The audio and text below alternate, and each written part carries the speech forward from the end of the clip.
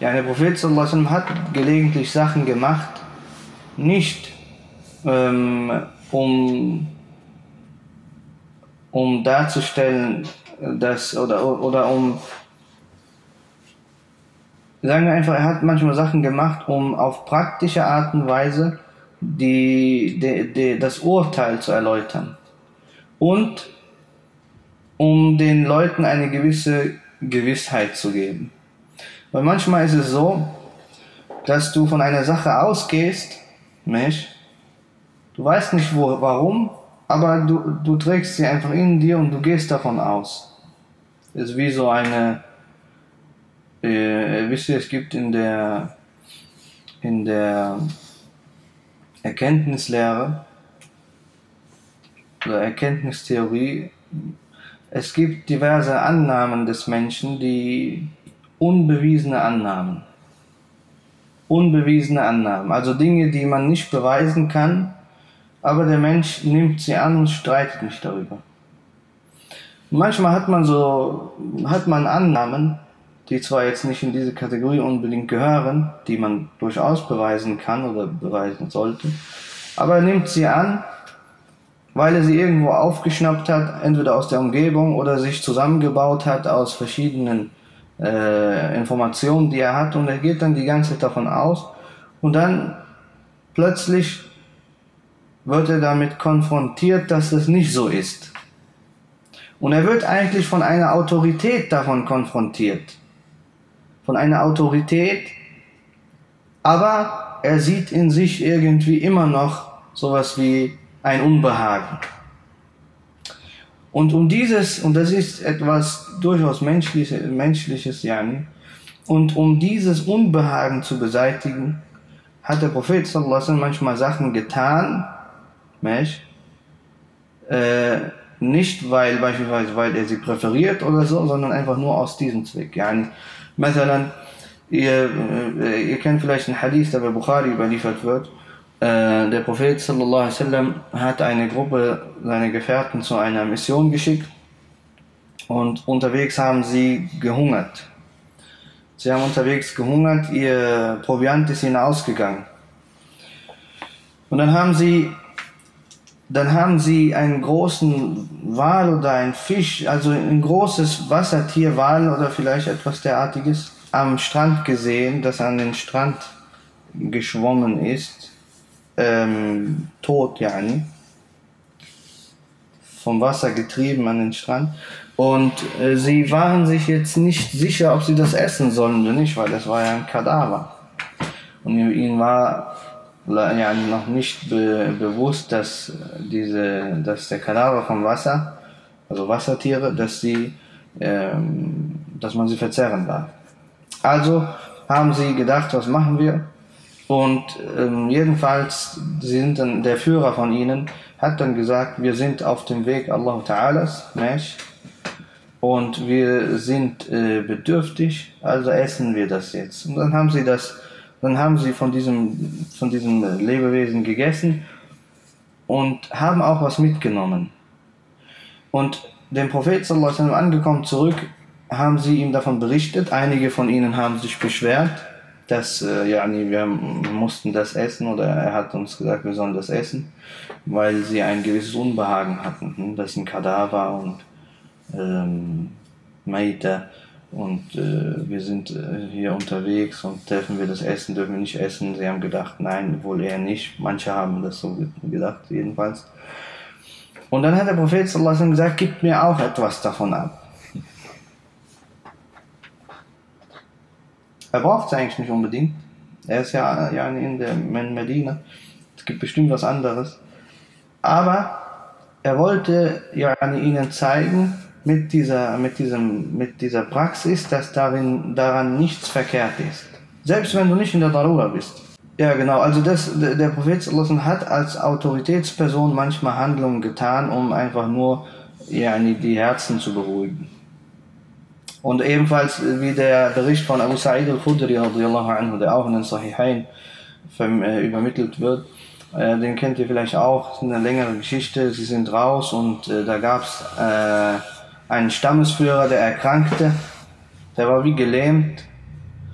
Und sie haben jemanden gesucht, der, der ihn, äh, der die Ruqya macht. Das zeigt uns übrigens, dass die Mushrikun die Ruqya kannten. Und das zeigt uns noch etwas. Hat Abu Sa'id al-Khudri gesagt, hm, das ein Stammesführer der Mushrikun, lass ihn lieber so, wie er ist. Hm? Stammesführer der Mushrikun, warum soll ich ihn, äh, warum soll ich die Ruqya machen? Lass ihn äh, krepieren. Ja, er hat das nicht gemacht, er ist hingegangen und hat die, hat die Ruqya gemacht. Daraus entnehmen wir auch, dass er erlaubt ist, die Ruqya über Kuffar zu machen. Äh, das ist ja, sind ja Bittgebete. Die Ruqya sind einfach Bittgebete. Und ähm, er hat aber bedingt, dass man ihm etwas in Gegenleistung gibt. Das hat er aber nicht ja, eingangsbedingt, sondern nur als Reaktion. Er hat das nur bedingt als Reaktion, weil sie ihnen die Gastwirtschaft verweigerten. Sie sind dort vorbeigegangen und haben äh, um Bewirtung gefragt. Sie haben es aber abgelehnt. Und später dann haben sie jemanden nochmal rausgeschickt, um sie zu fragen, ob es unter ihnen jemanden gibt, der Rukia machen kann. Daraufhin ist, äh, ist er hingegangen, hat das gemacht mit der Fatiha und hat äh, sich Schafe geben lassen. Zurück zum Propheten sallam, wird wieder davon berichtet, die Leute erzählen ihm davon und er lässt die Person kommen, das war Abu Sa'id al-Khudri. Und er fragt ihn? Was ließ dich denn wissen, dass sie eine Ruqya ist? Hm? Jedenfalls, er hat ihn gefragt, aber der Prophet sallam, hat ihn, hat ja in diese Handlung affirmiert und hat ihm gesagt, Wadribu li sahman, lasst mir auch etwas davon zukommen. Von den Schafen. Auch wegen dieses Unbehagens, was manche hatten. Äh, ob man sowas nehmen soll, nicht nehmen soll, war die Handlung überhaupt richtig. Und er hat gesagt, gib mir auch etwas davon. Na, wenn der Prophet etwas davon nimmt, hat jemand dann noch Bedenken. Hm? könnte ja sein, ja, er nimmt es selbst zwar nicht, ja, man könnte ja sagen, ja, er erlaubt es uns, er erlaubt es uns, nimmt es aber selbst nicht, weil er, es, es gehört sich nicht für ihn, ja. Das ist nicht für Leute seines Ranges. Aber wenn er es nimmt, entweicht jede, jede Form von Unbehagen. Tamam? Einen ähnlichen äh, äh Fall hatten wir auch in der, als die Leute während des, der Umrah oder der Hajj des Propheten sallallahu Er hatte ihm befohlen, sich vom Ihram zu lösen. Ich glaube, ich weiß nicht mehr genau, wo das, wann das war. Ich glaube, es war bei Hudaybiyah. Sie sind ja mit der Absicht der Umrah gegangen. Und äh, sie konnten die Umrah nicht machen und dann mussten sie sich von ihrem Ihram wieder lösen. Auf, äh, ja, von diesem Weihzustand wieder frei machen und er hat ihm befohlen, sich die Haare zu rasieren. Keiner hat es gemacht. Fehlt ihnen die Haare zu rasieren? Keiner macht es. Sie waren alle noch so in einem Zustand der ja, Verwirrung und, äh, und äh, Unsicherheit. Und der, der Prophet geht zu einer seiner Frauen, das war glaube ich Umm Salama, und er war zornig und sagte zu ihr, ich, ich, siehst du nicht, wie dein Volk reagiert? Ich sage ihnen, sie sollen sich die Haare scheren. Und dann sagte sie, geh du raus und beginn du damit. Und er ist rausgegangen, hat begonnen, alle haben ihm nachgemacht. Ja. Wir sehen also hier auch, das ist eine ganz interessante, eine interessante Sache, Yani.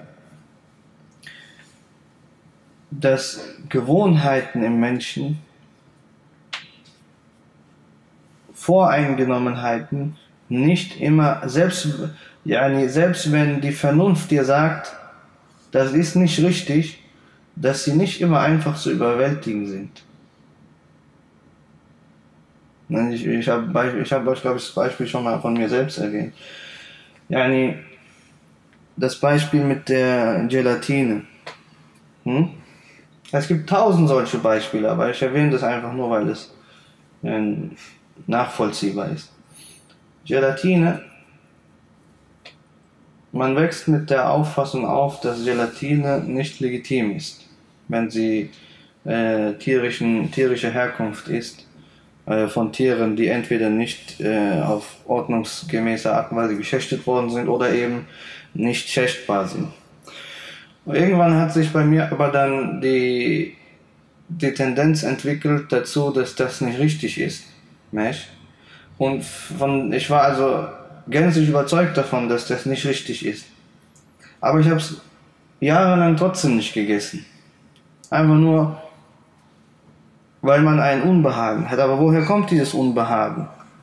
Nicht aus der Überzeugung. Nicht aus der Überzeugung. Gewohnheit, die alte Voreingenommenheit, die alten äh, Annahmen, die man hatte. Nicht?